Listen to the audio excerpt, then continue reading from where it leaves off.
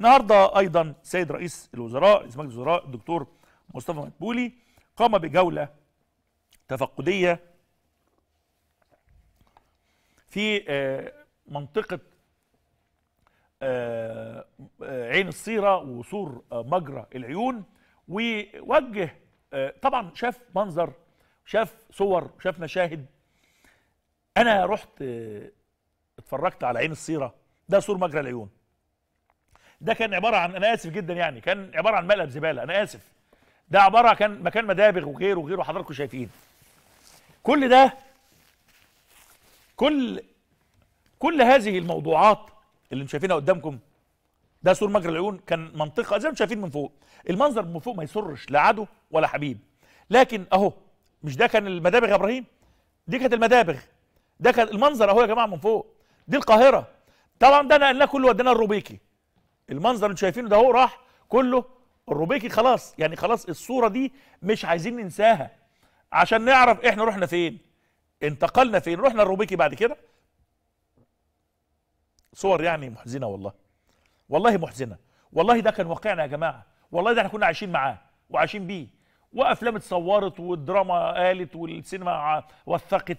ده كان كله ده ده كله كان موجود. أهو. ده الجلود والمدابغ. واللي بتعمله من تلوث بيئة واللي بتعمله من يعني إهدار للصناعه وما فيش اقتصاديات. ده بقى الروبيكي بعدين أهو. دي منطقة الروبيكي اللي هي ال ال الترتيب والتنظيم للعشوائيات اللي كانت موجودة عند منطقة سور مجرى العيون. وفي نفس الوقت آخد مجرى العيون رجعه بقى تاني كمعلم من معالم الآثار المصرية الإسلامية. سور مجرى العيون ده يا جماعة لو موجود في بلد يعني ما عندهاش آثار زينا بس إحنا ما بنحسش لأن عندنا آثار كتير. دي بره يعملوا عليه يعني هو ده يبقى حاجة من عجائب الدنيا السبع يعني. سور مجرى العيون. دلوقتي النهارده الدكتور مصطفى مدبولي راح هذه المنطقة. منطقة عين الصيره كان مكان أنا آسف يعني كان عبارة عن بركة يعني مستنقعات. دلوقتي أصبحت آه، وأنا بقول للناس روحوا زوروها. أنا عديت عليها بس. وأنا بتحرك بتفرج على رحلة مخصوص أتفرج عليها دون أن أنزل يعني لم أتوقف. حاجة عظيمة جدا. عين الصيره أصبحت مزار. المنطقة بالمتحف آه، آه، متحف الحضارة اللي موجود في قباله مدينة الفسطاط في آه، مصر القديمة حي مصر القديمة بينه وبين الكورنيش دقيقتين. حاجة يا جماعة ده ده كان مقلب زبالة والله. ده كان مستنقع. ده كان مستنقع.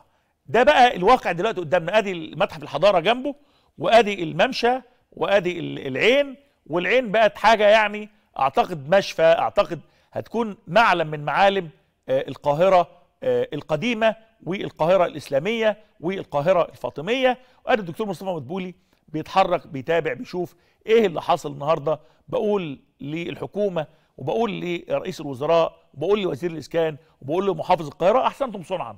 يعني إيه؟ لن يشكر الله من لم يشكر الناس. ده يا جماعة عين الصيرة دلوقتي. ده في قلب القاهرة.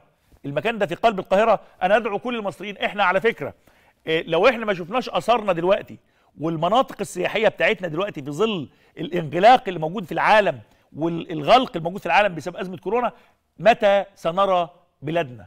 ده الوقت المناسب لأن إحنا نروح نستعلم ونشوف ونتفرج ونكتشف بلدنا فيها إيه.